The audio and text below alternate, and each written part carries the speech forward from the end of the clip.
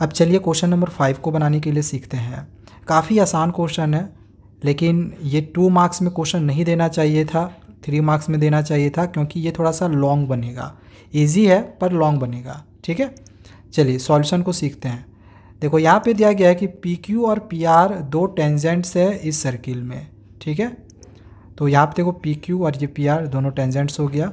Question में आगे दिया गया कि एंगल ओ पी आर, इसका जो वैल्यू है वो 45 डिग्री है। तो प्रूफ करके दिखाना है कि O R P Q, O R P Q, ठीक है? ओ आर पी क्यू, ये क्या है? एक स्क्वायर होगा। तो स्क्वायर प्रूफ करने के लिए हम क्या करते हैं? एक तो साइड हमको सारा इक्वल प्रूफ करके दिखाना पड़ेगा और सारा जो एंगल है वो 90 डिग्री है, ये भी प्रूफ करके दिखाना पड़ेगा। ठीक है? तो ये प्रूफ तभी होगा जब हम इन दोनों ट्रायंगल्स को कॉन्ग्रेंस प्रूफ करेंगे। ये वाला ट्रायंगल और ये वाला ट्रायंगल ठीक है? तो देखो, यहाँ पे जो गिवन में था गिवन में दोनों लिख लिए हैं। P Q R P R tangents है और एंगल ओ पी आर का वैल्यू 45 डिग्री है और टू प्रूफ में लिख लिए कि ओ आर पी क्यू एक स्क्वायर है, ये हमें प्रूफ करके दिखाना है, ठीक है? और दोनों जो ट्रायंगल अभी हमने आप लोग को लेने के लिए बोला ओ पी क्यू और ओ आर पी तो ये दोनों ट्रायंगल हमने यहाँ पे लिया हुआ है। ठीक है?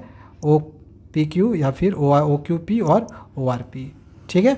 अब इन दोनों में क्या क्या मिल रहा है? तो देखो, इन दोनों ट्रायंगल में क्या क्या मिल रहा है? तीन कंडीशन हमें चाहिए। देखो, ये रेडियाई दोनों इक्वल हो जाएगा।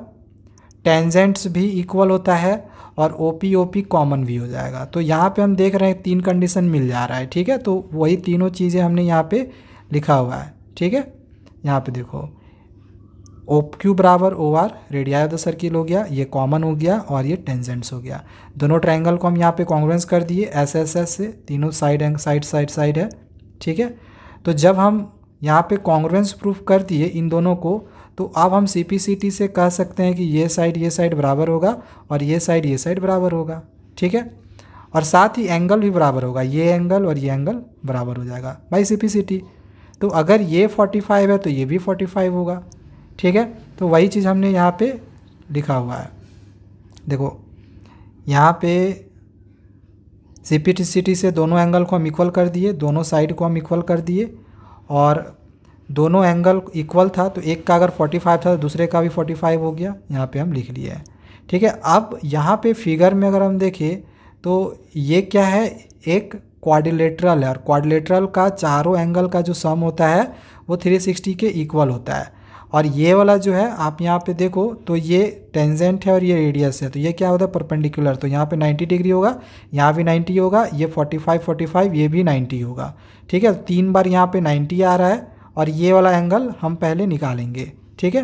तो वही चीज़ हमने यहाँ सॉल्यूशन में भी किया हुआ होगा। ठीक है, यहाँ पे आप सॉल्यूशन देख लो।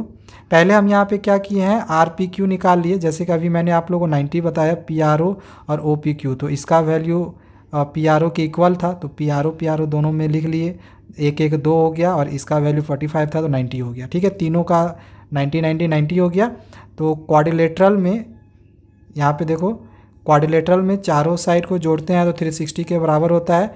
तीन में तो 90 आया था अभी मैंने आप लोगों को समझाया और ये वाला एक एंगल बच गया था। इन तीनों को जोड़े 270 आया, फिर 360 में से 270 घटा देंगे तो आर ओ क्यू का वैल्यू निकल जाएगा 90 डिग्री यानी कि चारों एंगल जो हो गया वो 90 डिग्री हो गया। ठीक है, चारों एंगल 90 डिग्री हो गया हम समझ गए, ठीक है? और जो चारों साइड था, वो भी बराबर हो गया।